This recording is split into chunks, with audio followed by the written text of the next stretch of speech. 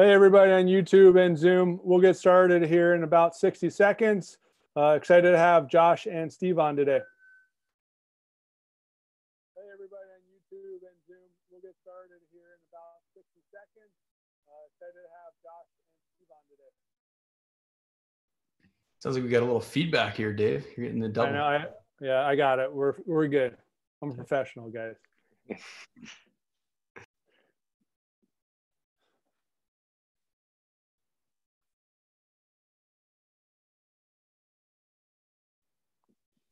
Josh, Steve, you guys ready? Ready to go? Yeah. Okay.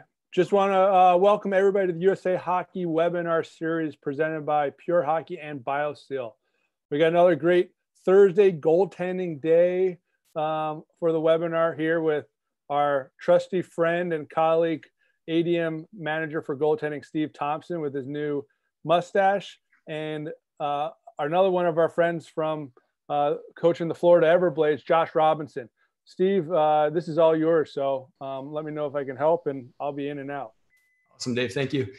Robo, thanks for having me, man. This is awesome. Uh, for those that don't know, Josh and I had the chance to play together in Sioux City back in 2007. So this is a lot of fun for us to uh, reconnect now on the coaching side of things. So, Josh, welcome. Yeah, thanks for having me. It was uh, it was a blast back then, and I and enjoyed catching up last summer. So I'm looking forward to this. Yeah, it's be good. And so, for those that haven't had the chance to meet Josh or work with Josh across the country, uh, has a really unique story with his youth hockey that I wanted to share, and it's actually kind of parallels some of the things that we've heard throughout this webinar series. Um, but as far as your playing career and then to your coaching career, uh, we've had the chance to play together in Sioux City, and you were there the year prior too. So that would have been 06 through probably 08. Yes, and, yeah, the two years there. From there, went to Michigan Tech for four years had a five year pro career, and in 2016 was the East Coast Goalie of the Year. And from that, uh, transitioned into coaching, had the opportunity to start helping out USA Hockey with the Warren Strelow camp in, uh, I think it was 18 and 19, and yep. have been the Florida Everblades and ECHL for the past uh, three, now going on four years. Yeah. So, love to uh, chat a little bit about your youth hockey path. I know that uh, Scott Clemmensen had mentioned in his, uh, you know, he stayed in Des Moines and played high school hockey for a long time. And, and today, as I'm sure you're well aware, a lot of the trends with our parents and our goalies are that, you know, when soon as 14 year olds come, I better start looking over the fence and see which state I should move to to make sure I'm playing AAA and all this stuff. So, um, were those some of the challenges that you faced in youth hockey, and, and kind of what was that career path like for you? Yeah, so I I grew up in Michigan, um, and right about the time the Detroit Red Wings kind of started having success success in um, 96, 97, 98. Uh, I was like six, seven, eight years old. Um, and I, I started getting into watching them and Chris Osgood. And I told my dad when I was seven years old, I was like, hey, I want to be a goalie. And I had never really skated or, or done anything other than kind of roller hockey before that.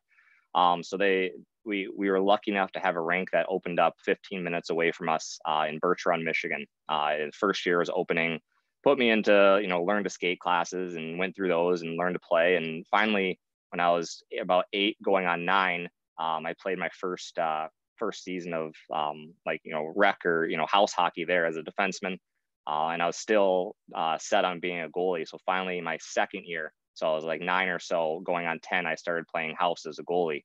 Um, and kind of fast forward a little bit i went through all minor hockey through um, up through my 15 into 16 year old year playing A and double A around uh, the Midland, Bay City, Saginaw area of uh, Michigan. So I never, uh, never really played AAA, never made any of the teams down in Detroit. Um, I was just, you know, doing my thing up there in the, the thumb of Michigan. And, and then finally, my 16 uh, year old year, I uh, ended up making for the first time out of our region in uh, Michigan. So there's the eight regions there made it out of that uh, Saginaw region for the first time for the Selects Festival. I went to the Michigan Festival, did really well there, and ended up going to St. Cloud where the Select 17 was. And that was the first time I had really ever um, made it anywhere at a national scale or kind of been noticed. Um, went back to Michigan that season to play in uh, the Soo for the Soo uh, Indians midget AAA team. Um, I played six or seven games, about a month or a month and a half, and then uh, Sioux City drafted me in the futures draft, which at the time was uh, at the beginning of the season. they were unhappy with one of their goaltenders and ended up uh, bringing me up right away that season to back up Jerry Kuhn for that uh, first year. Um, so I, it was unique and kind of a, a, a different path from you know going playing Double A one season, a few games of Triple A for about a month, and then into the USHL. But uh, it was it, and then down here in Florida, it, it's been something I've stressed with the youth organization is you don't have to you know leave. You don't have to be you know searching for that next spot. Everyone's path is different. Um, and, and i'm you know proof of that is you can make it from you know different uh, different hockey paths. And uh, i i wouldn't change anything. And i really enjoyed uh, my my path to you know getting into the ushl and, and college and beyond yeah it sounds something similar to what we see like in, in las vegas for instance they have a fantastic program in goaltending development program specifically with but it's only double a and there's so many families in Vegas that feel like I'd got to move to Arizona. If I don't play in the Arizona AAA program, I'm never going to make it. And um, you know, we're always saying like if you're being treated well, if you're being developed well where you're at, you know, stay, get better. You you you will find your way. Do you remember having some of those pressures as an athlete, or have you talked to your parents about you know was that a consideration when you were playing Double A, or was it just I'm going to stay home, I'm going to I'm going to get better? Kind of what was that like for you as an athlete?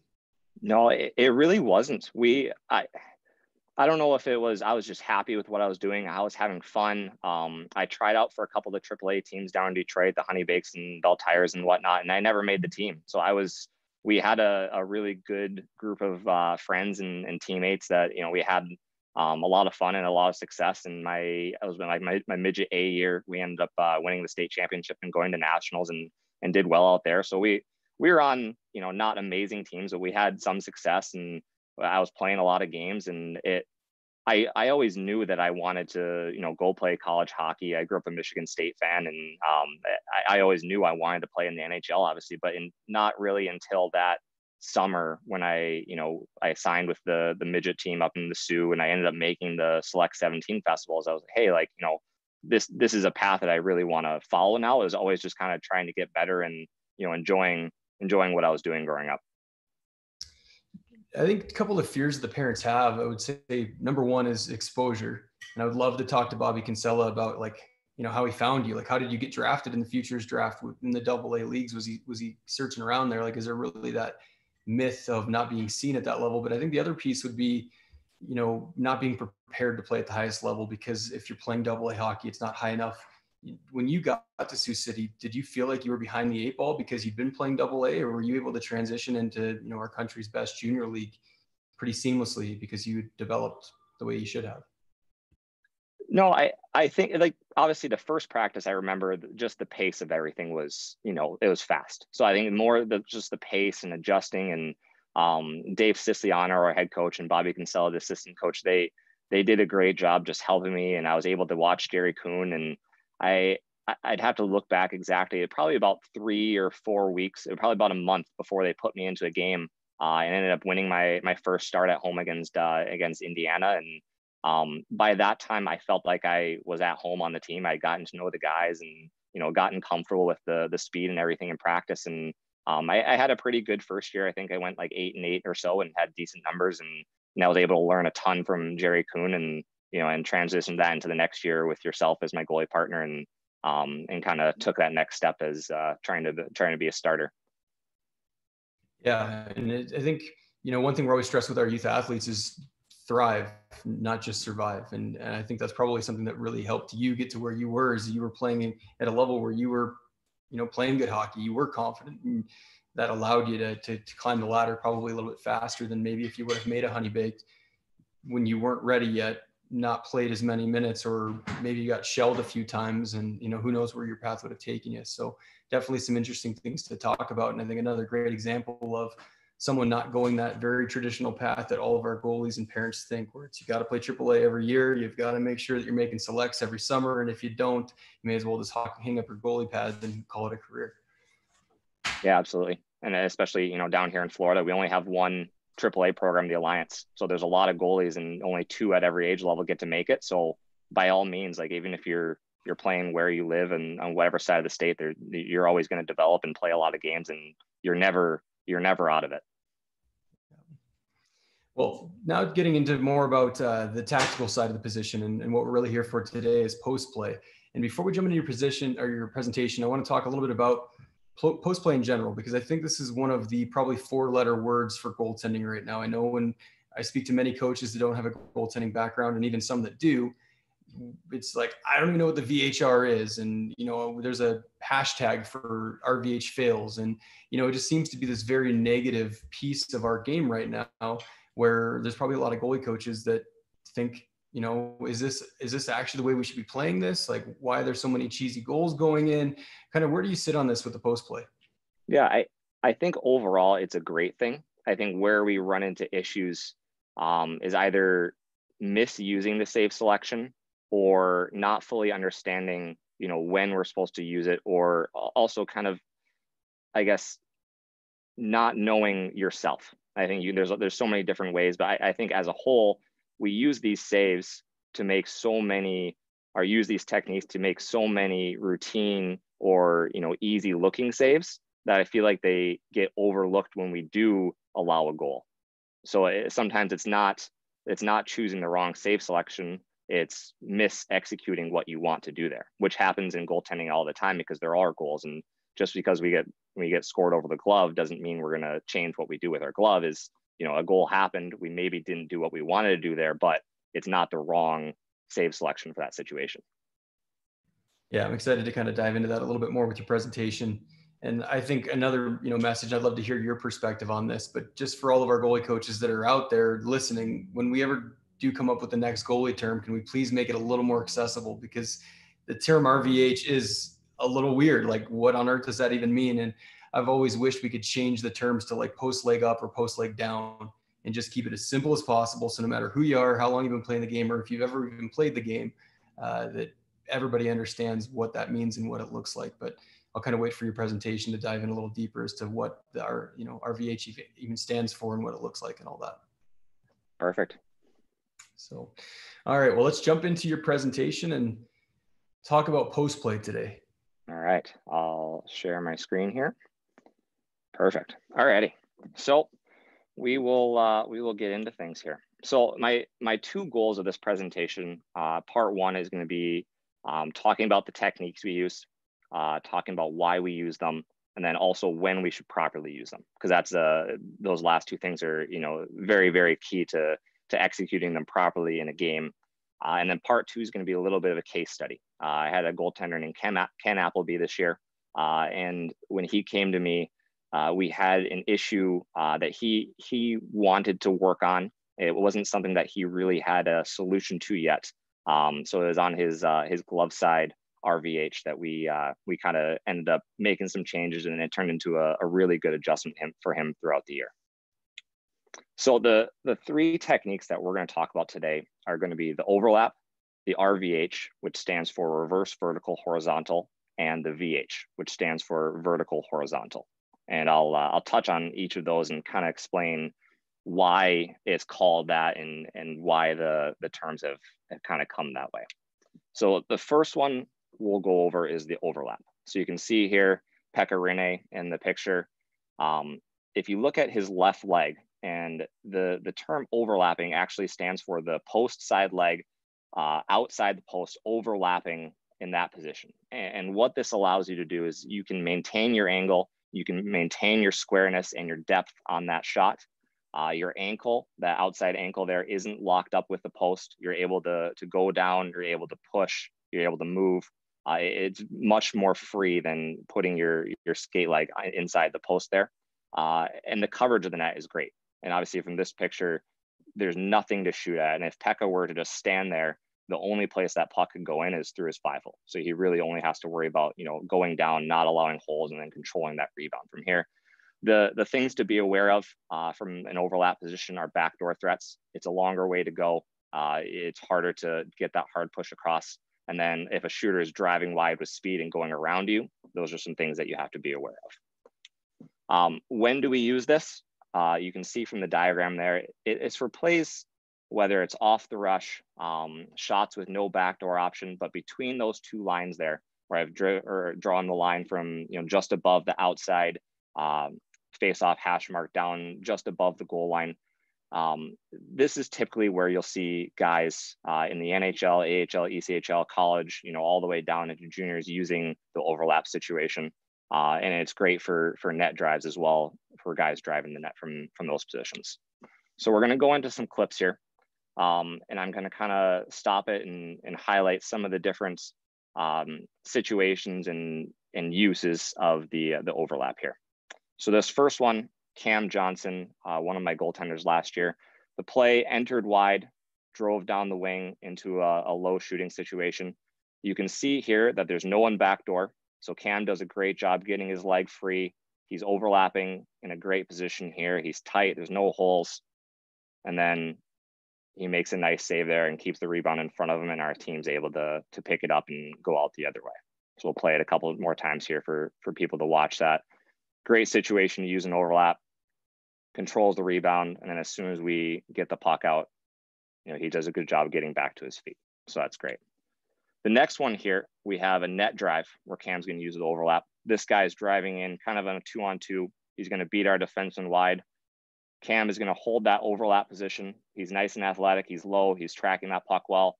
The guy cuts in front. He's able to make a save. He stays tight, nothing underneath him. It's a great job right there. And then obviously, the big thing that we stress on is as soon as that puck is cleared, he's getting back to his feet. He's not waiting for things. Everything looks great there. Last one here is kind of a, a combined clip. So Cam is in an, uh, an RVH position, which we'll touch on in a minute here. Puck gets popped low to high. He actually pops out into an overlap position here. And you can see his coverage for, you know, what the puck is there. Is he's covering the entire net. He gets down, he makes a save. Unfortunately, we're not able to clear the puck, but he has the awareness and the ability to fight through a couple layers of traffic there and slides back door and makes a great save. So we'll kind of watch that again. Pop out right there. Nice overlap save. You can see he immediately got back to his feet. He's looking through a couple layers of traffic here. So we have guy there. We have a kind of a two guys battling in front, and he has the awareness to recognize where this guy is back door. Push back. He targets his post and makes a great glove save. So I left that second half in there, just kind of showing the being able to get in and out of it is, you know, an extremely important. All right, so we'll go on to the, the second post play technique here, and that's the RVH. So it stands for reverse vertical horizontal. And so what that really means here is if you look at Pekka Rinne there, his post leg is horizontal and his anchor leg is vertical. So taking a step to the next one, the VH, that one is called the vertical horizontal, and that one is actually just flipped of this one. The, the VH vertical horizontal came about first, and then uh, the reverse of that um, was kind of a, a different method and, and kind of played off the VH. That's, that's kind of where the name came from there. Um, the, the big things in this position, it's the importance for our guys of the squareness and flatness. It's not a static position it's not just go down and, and sit in this position because that's when a lot of guys you know run into mistakes and errors but it's a very active position we need able to hinge back and forth we need to have awareness of backdoor threats where they are and our positioning in this position will actually adjust um, based on like like any other um, position we're in is we'll hinge back and forth we'll hinge out we'll get flatter depending on where we need to go um, the big things with the RVH is there's actually three different ways to, to connect with the post. There is the skate blade, which Pekka is doing there. There's the toe bridge, which a lot of goaltenders prefer, and then the pad inside, which I believe one of the few guys that uses this in the NHL is Tuukka Rask, but he does it very, very well. And we'll uh, we'll see those in the next slide here. Um, active hands, that's huge for me. Uh, and it and active hands to me is two ways. It's not just your hands up and active, you can actually use active hands to come down and seal holes. So it's always having awareness of where your hands are, being able to move them up or down, seal holes, catch pucks that come through the zone or come through the crease. Uh, lots of lots of different elements there. And then stick discipline. Uh, we'll, we'll touch on that in a minute here, but it's always having an active stick, being able to control your crease, not just setting it in one position and forgetting about it. So here are the three different positions. Uh, we have Ben Bishop on the left-hand side there. He's using the, the toe box or the toe bridge. Uh, and what that really talks about is where he connects with the post. This one probably has the best seal on the post other than the, the boot inside. His skate is just on the inside. The post is connecting on that little um, where our skates tie with the pad. We have that um, two or three inches of lace that guys use, or some guys use the bungees, however they end up working that. Um, and then he'll get a lean and and whatever side it is, he has his blocker on top or the glove on top of the pad there. The the top right, like we saw Pekka, he's using skate on post. So the, the drawbacks with skate on post is you you probably have some of the best movement because your, your skate is able to push off the post, but we also have a hole there, which guys have to be worried about. And that's where we see some of the goals going in is that uh, that hole we can see above the skate and between the pad. And then the bottom right there, we have Tuukka Rask. He's using his uh, his full boot inside the pad, um, and, and, he does it extremely well. And he's able to move in and out of it. Uh, and it's very much personal preference. Um, and you'll see a lot of guys. Everyone in the NHL is different. They all have different body types. They all use some variation of you know these three methods, but it, it's very much individualized to what your body can do, the way you wear your equipment, and none of them are incorrect ways to do it. It's very uh, what you're comfortable with and what you're you're able to do. So when do we use the RVH? Um, wraparound situations, low net drives, and it can also be used as a reactionary save from farther out. So you can see in the diagram there, um, lower in the zone towards the bottom of the circle, towards the goal line. Uh, on plays outside of the, the trapezoid, we want our goalies being on their feet as much as possible. But obviously, there is a time and a place between inside the trapezoid there behind the net where we do have to go down a little bit earlier, whether we're anticipating kind of a 50 50 puck that might be come out for a wraparound. We know the guy is skating behind the net. He's going to come out the other side. There are situations there where you do need to go down a little bit earlier, anticipating and, and reading the, the next play to happen. So we're going to watch some clips here. This first one, we have Cam Johnson as soon as the puck gets down tight inside the trapezoid there, he does a great job of getting down. You can see from the, the video here, he has a great seal. Cam is a guy that is very good using his toe box. He has a good seal. His glove rests on top. Um, and he's very active. And, and what I love is his anchor leg here is always nice and tight. It's able to move him in and out of the post and keeps his stability on the post there. So he makes a save. And then immediately we can see him push out of it and gain his feet again right there and he's up. And, that, and that's a big key is whatever position you choose, we need to be able to move into it fluidly and also move out of it, out of it fluidly because there's always a next puck or rebound that might happen. So that's a great job right there. Next one here, we have Tom McCollum, uh, another USA hockey guy. And this one's a great clip because this is a time where we do need to go down a little bit early. So the puck kind of ends up behind the net here. You can see Tom bump off his post using his window, turn to the other side, this is a 50 50 puck right behind the net. This is a time where I'm fine with my goaltenders being down a little early because if this guys, whether it's coming this way or this way, it, it's hard if you're holding your feet too long. You can get caught down in transition.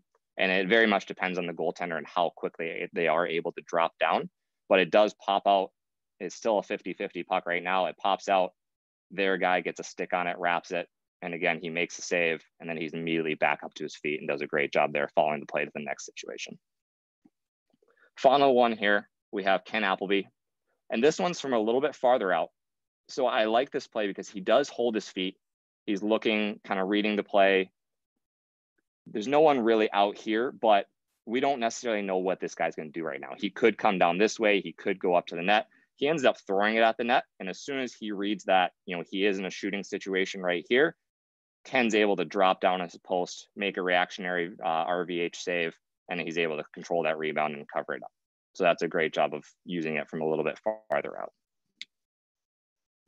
So kind of touching back to the stick discipline part. This is a big thing that we talk about with our guys is, and this is kind of a guideline. It is not by any means of this is what you have to do, but we'll see in the next couple clips here of, you know, this is a, a little tool that we like because using your stick in the RVH position can be a huge tool blocking passing lanes uh, the same way it is on your feet.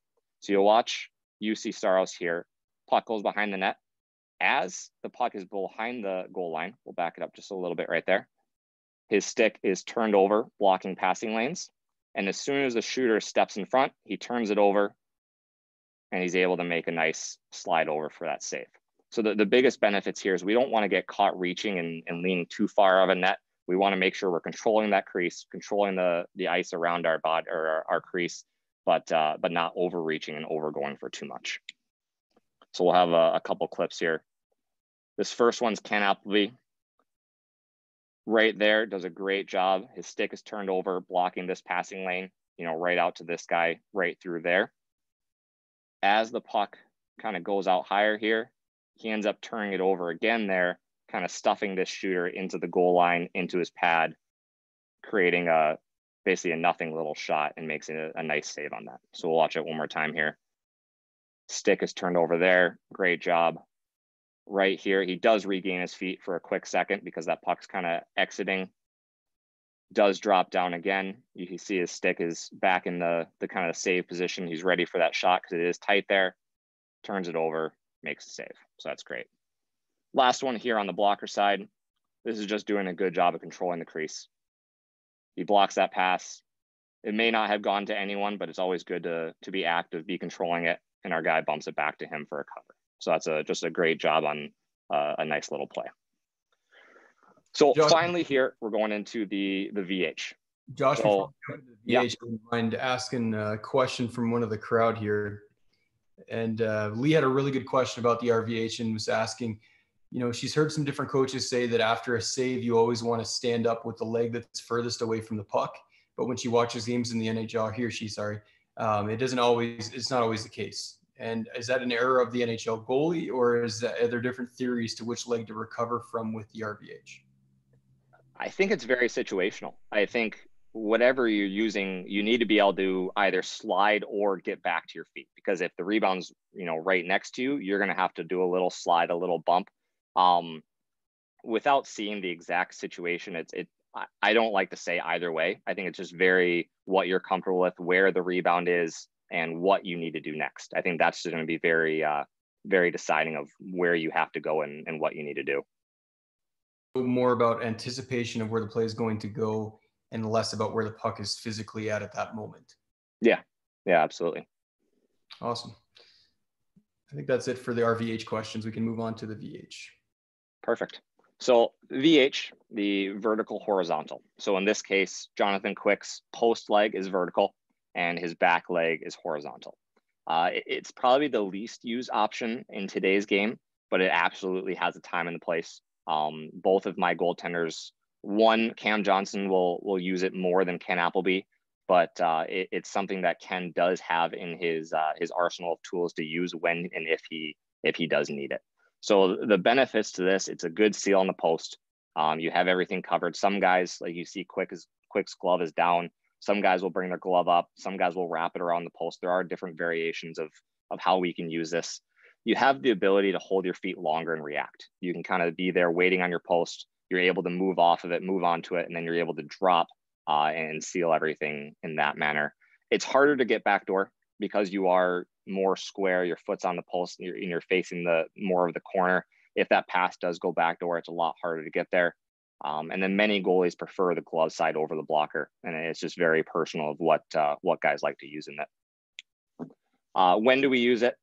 Straight shots with no backdoor option. And, and some guys will use it on net drive situation with a guy driving towards the net. They'll drop the one knee, take the, the short side away and be able to push to uh, push to the far side. So we'll watch some clips here of it. This one, Cam Johnson, puck goes down right there.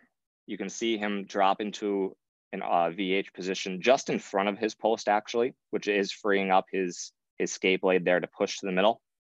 He makes a save here, he slides back to his post into an RVH position and we're recovering out of it and he gets back to his feet then.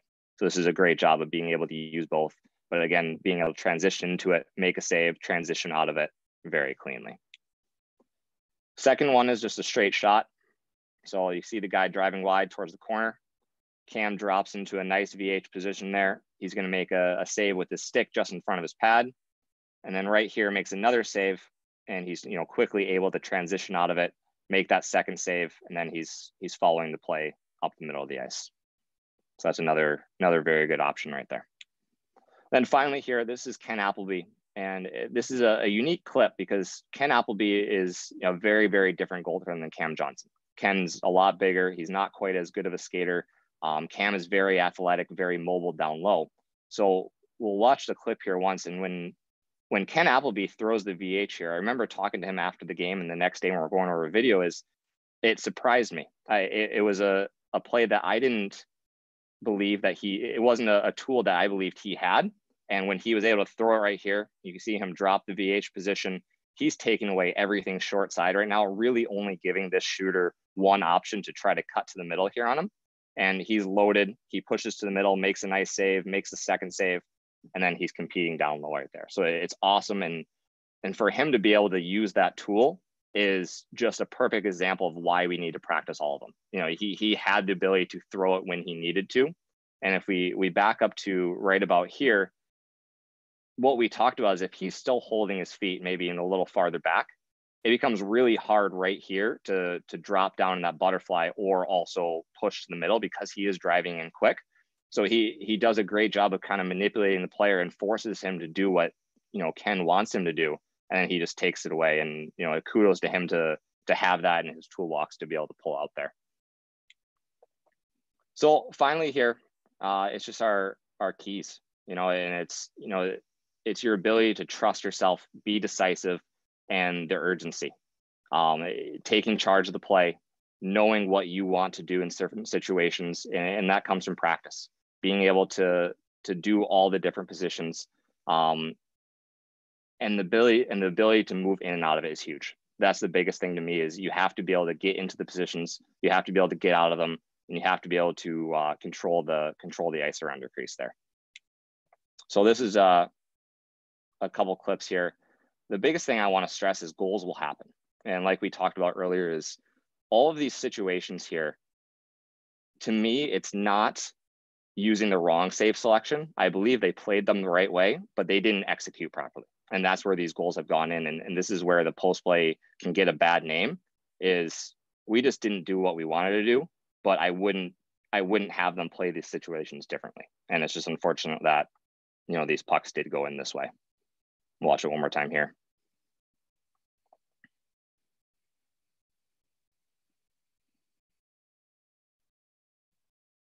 anything to add guys before we uh, move on there yeah i mean i just think this reminds me so much of a very common error that we see in youth hockey, well, probably all levels of hockey and, and practice. And, you know, like right here, he executes probably not as well as he would like to, but made the right read. And if he executed properly, that's probably 100%. He's going to make that save every time. And, and what it reminds me of is in practice where we see a lot of coaches that say, you know, like Timmy, you butterflied and they shot high. I want you to stay on your feet every single shot this drill. I don't want you to butterfly ever again because you've been butterflying too much. And and and correct me if you think differently, but in my mind, what we're doing is we're eliminating the thinking part. Really, that's what we're trying to develop here is reading, react to the play, and then execute. And if we're asking our kids to stay on their feet every single shot, then we're not teaching them to read the release and butterfly when it is appropriate and stay on your feet when appropriate. And similarly with our post play, we're saying, you know, you let in a terrible RVH goal in overtime and we lost the game. I don't want you to ever use an RVH again. I want you to use a different save selection that was terrible you know, are we really teaching them to read and react to the play, or are we just creating kind of ultimatums based upon a one instance that may not even have been the wrong one? Yeah, absolutely. So this is my call to action. Uh, we need to practice all four. And, what I mean by that is, you know, we need to practice the overlap. We, we need to practice the RVH, practice, you know, using your toe, your toe bridge, your boot, um, practice your VH, and also practice holding your feet because there is a time and a place that we we do need to do that.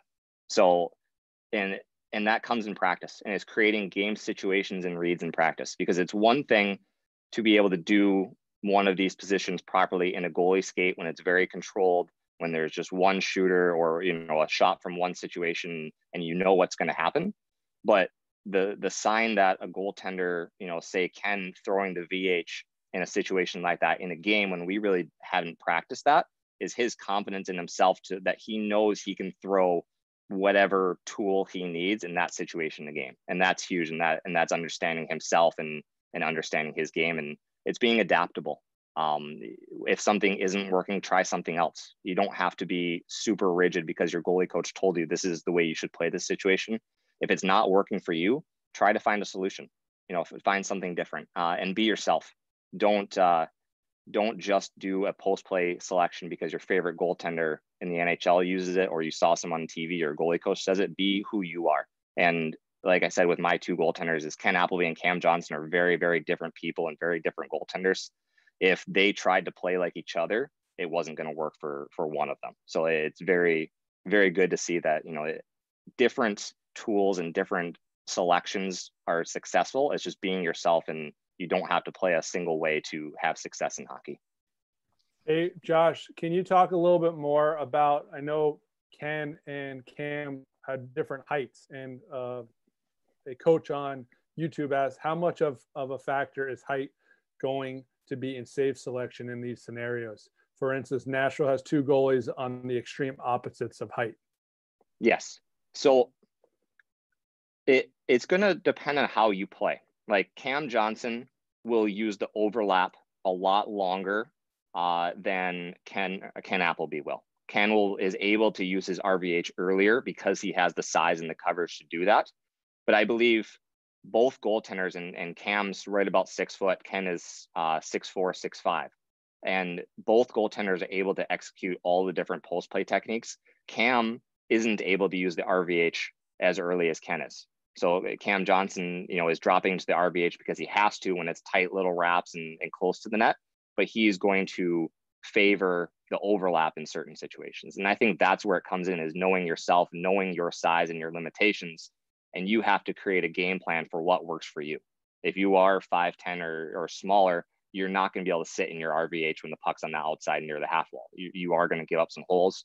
Vice versa, Ken Appleby or a guy like Ben Bishop they're able to use it earlier because they have the size to to use that in that situation. You guys have anything to, to add to that? No, I, I think that really makes a lot of sense and definitely answers the question. And uh, you know, I think this page that you have, this call to action, you hit so many good points on it, right? Like you you hit on practicing different techniques. You hit on you know creating those game situations and being adaptable and being about your being about um, being yourself. Like, you know, if if our goalies, parents, or our coaches, you know, you take this and anything they do, I mean, that's those are some golden moments, golden golden nuggets that you can be. I really like be adaptable. You know, like that's cool. You know, like it's really kind of hits home. Steve, you have anything? Yeah, just the size piece, it really hits home with youth hockey as well. And Josh, I know that you've had the opportunity to work on not only the pro side, but also the youth side of the game. And one thing that I see often is depending upon what area of the country we're in and who the NHL goalie happens to be in that market, that determines how most of those kids play. And so when we're in the LA area, we have a lot of Jonathan Quicks out there, regardless of their height and, and their age and all that. Um, Billy asks a really good question about hip durability and wear and tear on young goalies with the RVH. And then I think on top of that question, um, he's asking you know, is there value to them staying on their feet, not only for mobility, but also for some hip health and some things that we do need to be aware of as coaches? Yeah, absolutely. And it, it's something that does need to be practiced, but I think you have to draw the fine line of what is enough and what is, um, and I guess in the pro scenarios, what is going to get them the reps that they need to feel sharp and be able to to perform at the the level that they need to.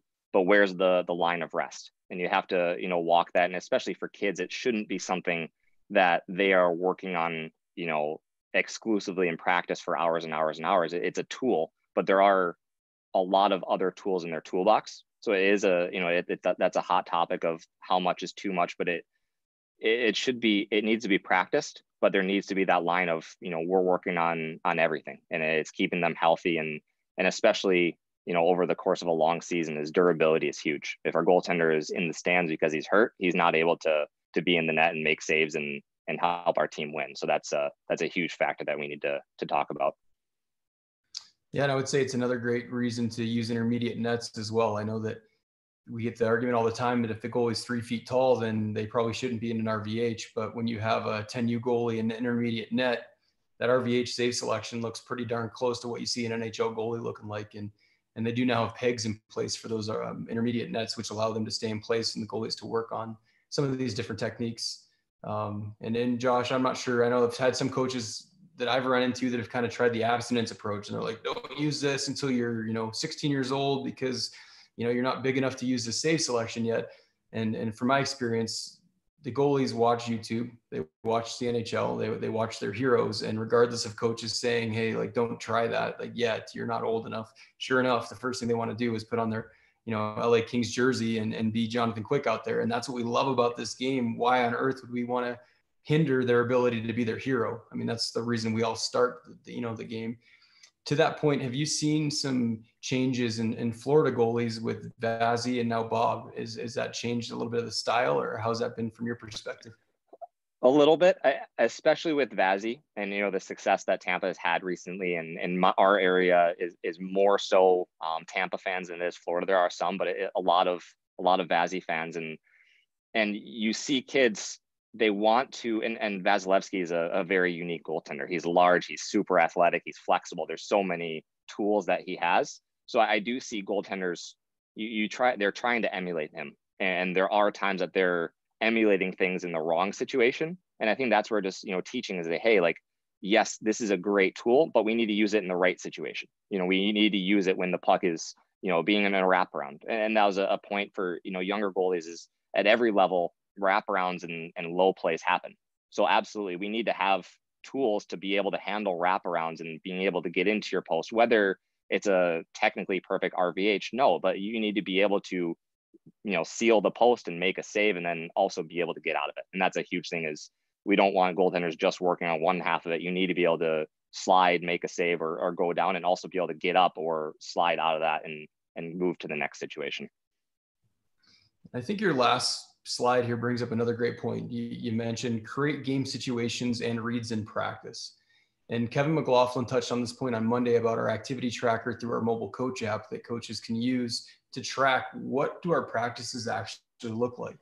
And through our experience of using that app, and I challenge all the coaches and parents that are on here, if you know, if you're a goalie parent, use that app and track where shots coming from practice. If you're a coach, you know, maybe assign one of the parents to do this or an assistant coach but what you're going to find, it doesn't matter what level it's at, is that traditionally all of our practices are structured so that the shots are taken from the house. It's almost a, a linear progression, and then all of a sudden the shot's taken from right in front of the net, and the goalie competes and, and does this thing. But when we're wondering why we don't have more success, probably on some of these wraparound or bad angle shots, we might need to look in the mirror as coaches and recognize how many of the drills that we've designed in practice will create a game situation where there's a wraparound or a shot from a bad angle. And uh, Josh, have you seen any of that on your side from youth hockey practice to even in pro? Has that been a, a, mindful approach that you all have had is to make sure that we have some different scenarios in practice that simulate some of these situations in games? Yeah, absolutely. And and like every at all levels is when you're doing a flow drill, guys want to naturally creep into you know the slot and shoot from from right down the slot because that's where they know they can score. So it, and unfortunately, at all levels, that's going to happen. But it, it and for the goalies you have to you know stick to what you're doing and and focus maybe a little less on trying to stop every puck but do what you need to do to be successful in games. But it you know it is something that we've worked on on the other side of it is you know we have to we have to practice things to be successful then in the game. So in, in practices you know game situations is you know how many shots do we face with a guy with his head up from the red line walking into the slot? Not very many so all those other little things that happen in a game, whether it's wraparounds, it's a guy driving wide for a shot off the pad, it's low to high plays. There's so many other things, and and with us, with the Everblades, our head coach Brad Ralph does a, a great job of incorporating everything. We have the the we have great you know goalie warm up drills. We have flow drills for the players to establish speed and pace and and get them their reps. And we do game situations. We do in zone. We do. Um, he does a lot of drills that combine things. So whether it's a uh, a regroup into an end zone, spot another puck, regroup for a line rush. You know, so many different things. And I think that's great for the goalies because they see all of those different situations in practice and they're able to do it. And obviously at, you know, as fast, we, we do practice at a really good pace. So that pace in practice is very close to what they see in a game. And that gives them confidence to work on things in practice. And then they feel the confidence in a game to be able to execute what they need to do when they, they see those situations again. Yeah, and it's great to hear that they're doing that in practice because I think again for all of our goalie coaches that are out there, there's a very big difference when you're in your little facility doing your lesson with your goalie with you as the shooter from when they're on their team practice with the stress of their peers shooting the puck, you know, the the actual shot coming from a relative age shot. you know that's going to be a much different development environment than when it's the quiet space we're doing a bunch of reps of the same thing over and over again and i don't think that's enough you know certainly it's important for us to have the block training in our facilities doing our goalies training stuff but it's got to happen in the team practice as well if they're really going to adapt to that environment which is you know their age players and, and that practice structure um, another thing i want to touch on is kind of our ADM model in small areas that we end up having. We have a lot of station-based training now in our youth hockey practice, and and that creates another huge challenge for us as coaches to have a wraparound when you only have an eighth of the ice and you've got eight to ten different stations going around the rink. You know, you're almost forced to only shoot the puck from the slot because the slot's really the only available space to shoot from. So um, I would challenge again your coaches. The, the coaches, the net doesn't always have to face out front. You can rotate the net and maybe flip it to facing the boards. Now you have the same small area space, but now it's a wraparound instead of just a traditional shot from the slot. Josh or Dave, do you either have any other examples or recommendations for ways that we can structure practices to start to create more of these post practices that we need to see? Yeah, I I think it's it's adaptability. Like uh, you know, it, it's you know talking to the goaltenders and and what I like to do with our guys and and even the youth kids is you know ask them say, hey, is is there something that you feel like you need to work on? You know, and if they don't feel comfortable saying and working that, but I think in Florida we're doing a very good job, and and there's some coaches like Ryan Brindley with his Southeast Elite stuff, and they're they're they're following the ADM you know method and and doing a great job like that. But we're we're adapting things. We're looking at the the ice surface and looking at the different drills, and, and we're trying to and, and, and I've talked to them about it, especially for the the goaltending standpoint, is how can we, you know, hit different things. So if we have goaltenders at three or four different stations, let's see if we can have a wraparound situation. Let's have whatever if they want to work on a breakaway situation, we have a breakaway. We have a a small battle game, and whatever that is is just varying what all the players see. Because I think is great for all of them is they need to be able to play in all the situations because that's what we want. We have them, you know, playing in, in breakaways and down low and compete and and all those little all those little areas of the game. Yeah, and that's the beauty of this goaltending stuff. I know that we label it goalie week or goalie day of the week, but realistically, this is a chess match. And you know, my brother was a forward. We went to all my goalie clinics and ended up learning so much about how to score based upon learning about the position of goal. And I, I think this is another great example of that, where if we want our forwards to learn how to score on wraparounds or bad angle shots, then we probably need to make sure that they also are getting those reps. So as much as we're stressing today that this is important for the goalie to learn, you know, it's really important for the entire team. We all need to be able to adapt to all these different environments. And I think this is one great way to do that for sure. Are there any other thoughts, Dave or Josh, you have on post play in general? Um, again, everybody on the crowd, if you have any questions, please throw them in there. But I think this has been pretty, pretty great today. Appreciate hey, it.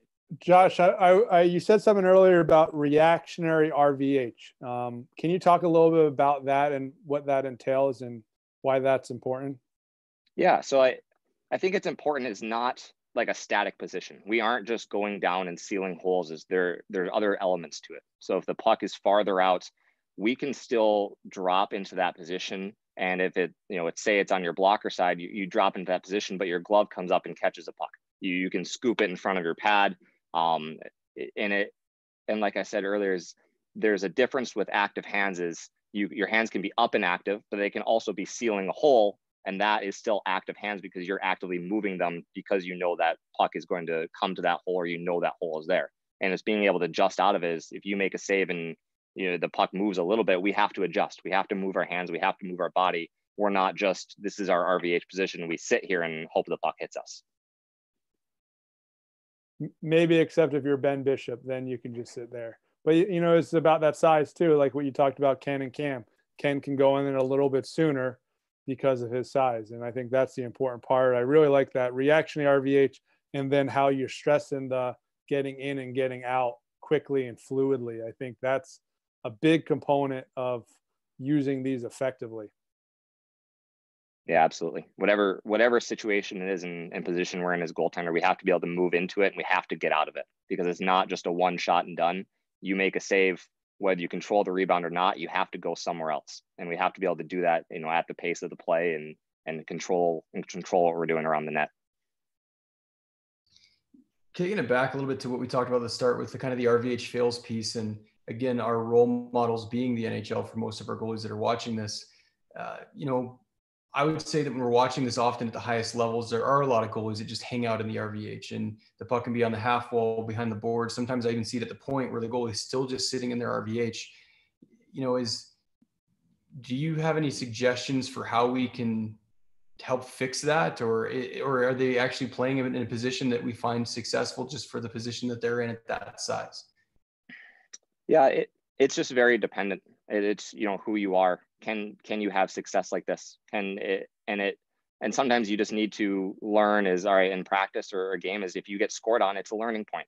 You know maybe i couldn't do it here and, and maybe i don't have the size to to drop quite yet. But a lot of the the goaltenders i work with will, will work on you know kind of game mapping and, and identifying is you know with my size this is an area that i know i can get down and, and have coverage and and i know when the puck isn't here yet i have to you maybe be in a, an over an over overlap position or, or do something else. And it it's just knowing who you are and really learning what you can and can't do. And that just comes through practice and trial and error.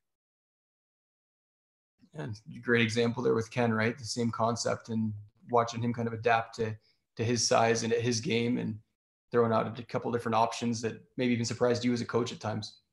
Yeah, absolutely. He it it's knowing that he he can use it if he has to. And that was a perfect situation where that was the appropriate you know play there. And he was able to do it because he had the confidence he's practiced it and he knew that hey i'm going to do this i can do it. And he's he went with it and it worked out great. So that's perfect. Awesome. Well i don't think we're looks like we might have one more question here from our youtube channel.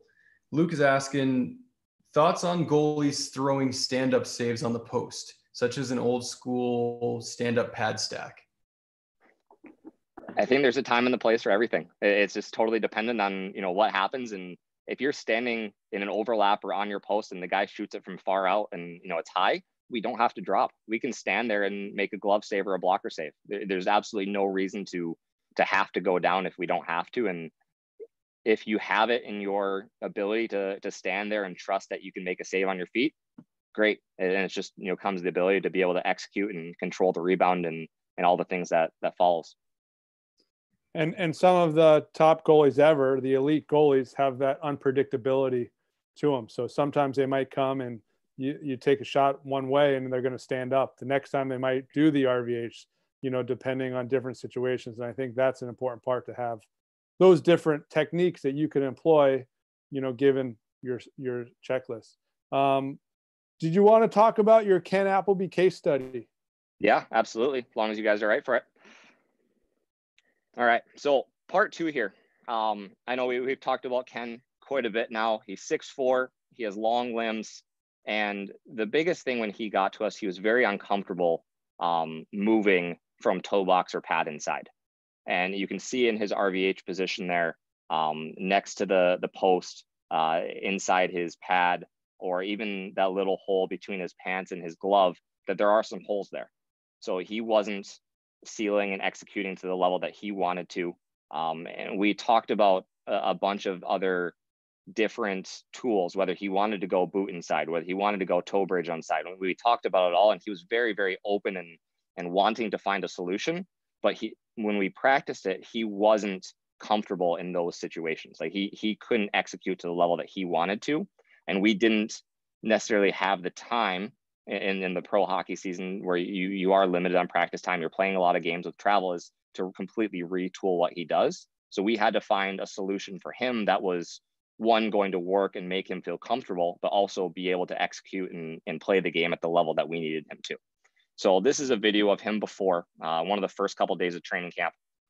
And you can see just right here as the puck gets passed down that all the drill is the shooter over here can either step above the glove and pass back door to me, or just take a quick little stuff right here, just a, a quick little drill we're doing before our team practice. So you can see our shooter there. He doesn't end up scoring uh, on any of these clips, but I thought it's a, a great visual of you know what the net is available right there. And you see there's a big hole right here. There's a hole right here. But obviously Ken is a very large goaltender, so everything up high is you know he's he's taking that away. And this clip right here, you can see how well he does move from a skate on post position. He passes across, he's right there. And again, like we stress, he's right back to his feet right away. And we'll watch the the last one right here, back into it, save, follows the rebound, everything's great right there. So what we ended up actually doing is he goes skate on post, but we turned his glove hand over. And instead of setting it on top of the, the pad, like a lot of goaltenders will do, we almost made a cupping um, form over top of the edge of his pad and where his skate is. So by doing this, he sealed the, the pad and the, the skate on post hole. The back end of his glove near the cuff seals that little hole near his pants, but it also allowed him to be able to be in that skate on post position and move out of it. So it was a, a great little adjustment. And my first question to him is when when anyone turns their hand over like that, I, I asked him, is do you feel like your glove is going to be exposed or the backhand of your glove and hurt your fingers? And and what we actually ended up finding out is I tossed a pile of pucks near uh, the goal line and, and kind of started shooting him half speed to make sure I wasn't going to be the one that hurt him. But I was hitting the the back end of his glove where the the pocket is, where you can kind of see there is most exposed, and it it was never an issue. And he was very very confident to to go into this position um, near the net and on a close range plays, and um, it was a, a, very good adjustment once uh, once we kind of dialed it in, and, and he had the confidence to to use it right away. So we'll see some some different clips here all this one is is a puck kind of going low. You can see Ken drops into it great there, and you can see the coverage on the, the video as best as you can here is, you know, the glove is turned over, everything on the short side, the holes are all sealed. Oops, we'll go back to that one. And right there, he's down into it, save, save again, and then he's moving right out of it. So that's great. We'll watch it one more time there. And that's awesome. So second one here has a couple different elements. He drops into it right there. Stick does turn over, like we talked about when the player does start coming into the net. Wrap around, he gets over, makes a save, he bumps in, bumps out, and he's constantly moving like we talked about. He's not just sitting there on his post. He's moving in, out, he's adjusting to what's happening. He throws a little poke there, he's back into his post, puck goes this way, and he comes back over to it this one right here, this this was also a question. And yes, he can have coverage. Yes, he can move out of it. But what happens if the play breaks down a little bit and he needs to turn that glove over and use it? So this was a great clip that we found was the puck is going to come behind the net over here. And this guy behind the net is actually going to come out and pass it back out this way. So we'll see what happens here as he turns. And right there, he's he is able to to move his glove back and it's not locked up on top of his of his pad and he's able to make a nice save there and then the clip the clip just kind of continues on to another another good seal another good stick and he's out over there so we'll watch that one one more time here he turns and right here he has the ability to throw his glove make a really good save on a, a tough little read there and does a great job and then and finally here the last clip is he has the ability to lean and take everything away so he does a good active stick right there. He has it sealed. And then you can see right here, I'll back up just so we can see it happen quick. He squares himself up. He leans into that post, taking absolutely everything away. And this guy has, you know, absolutely nothing to shoot at. And uh, he ends up actually controlling that rebound up in up in the, the collarbone neck area there as well. So it does a great job kind of adapting and it's not that stuck position. So that's uh, that's all I got for that. Awesome. That was a great representation of a lot of things we got to talk about today. Yeah, other thanks, guys. I, I thought that was really good. I think, you know, the whole important points for all our coaches, players, and parents, you know, is to make sure that this is a save and make sure we're trying to do it as best we can. But it's also just one in the toolbox of many saves. And like you said, like people overuse it. It's getting in and out quickly, using it as reactionary. And that's something that we want to do and uh, make sure our goalies do. So. And coaches, now you know what it stands for. So no more cop outs on, I don't know what the VHR is, so I'm not even going to try it. So uh, Josh, if, it, if anybody asks, asks us, I'm just going to say, watch Josh Robinson's webinar. You That's know, right. awesome. Well, Josh, I really thank you again for uh, putting your time and effort into this. This was an excellent presentation and um, coaches out there, please share this with your peers, with your goalie parents and your goalies to make sure we solve some of these post play myths and and educate our kids on exactly uh, the creativity and, and the thought process that we want behind some of these different plays that happen on the ice. Perfect. Hey, Josh, do you want to um, leave with anybody one last message for the the people watching and listening?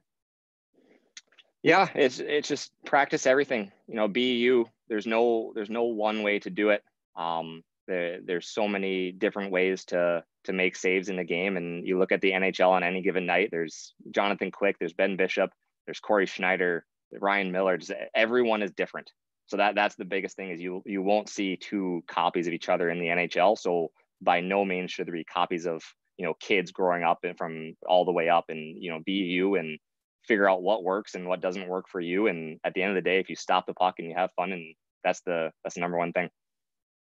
That's really good, and and I I really enjoyed listening to you because within your presentation about talking about all this technical stuff, you can hear how much you are you are putting into the goalies and the communication piece you know asking questions and you know getting their feedback and you could i could hear it you know i think that's a really important part too so um, just want to remind everybody tomorrow we have the eaves family mike eaves who has coached many different levels from nhl down to um, junior hockey to division three to division one um, with his whole family. So his wife beth will be on as well as as as well as his two kids ben and patrick. So I think it's going to be a really interesting talk, and you know, having um, Mama Mama Eaves on there, I think it's going to really um, she, just by talking to them, she was she was the rock. She was the one that made everything work about having a dad in, the coaching world, and um, what a great family and what a great talk we're going to have tomorrow. So thank you, Steve. Thank you, Josh, and uh, we look forward to seeing everybody tomorrow.